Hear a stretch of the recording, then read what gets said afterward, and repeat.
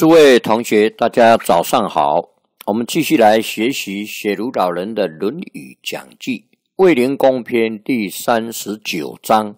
子曰：“有教无类。”子曰：“有教无类。”只要自己能有道德学问，够道能教人，人只要来领教。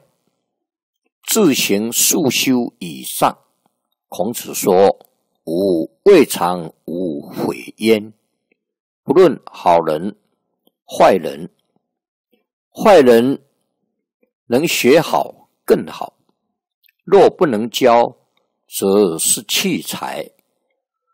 毛贼，弃才者并非不聪明，是品性不好；毛贼则不改习气。”站不住数字，便无法教了。那么这张书啊，主要是孔子教学啊，这个是有教无类啊，他没有分类了啊，没有分说哪些人啊，他要教哪些人他不教，他都教啊。但是学习的人啊，那他要怎么学？那是学的人他的事情啊。那么这个古时候啊，这个束修就是一束甘露啊，那就是给老师的礼啊，给老师的礼啊，这是最少的了啊。基本上有这个礼啊，自行束修啊，一束甘露供养老师啊。那么这个。孔子说：“吾未尝无悔焉，啊，就是啊，没有不教诲的，啊，也不论是好人还是坏人，啊，都会教他。那坏人他能学好，那更好啊。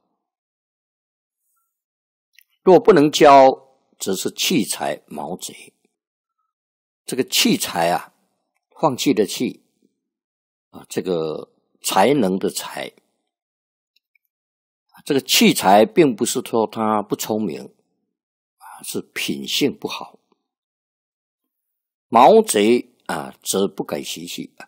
毛贼他就是不改，啊，不发奋改过，改正自己的习气毛病，啊，站不住数字。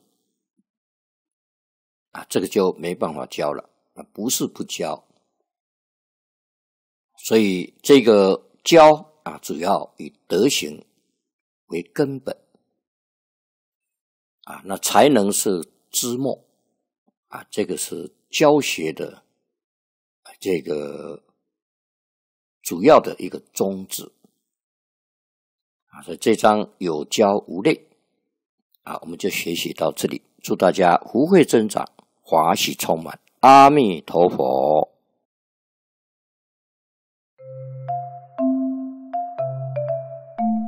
如果喜欢我们的影片，欢迎订阅频道，开启小铃铛，也可以扫上方的 Q R code，就能收到最新影片通知哦。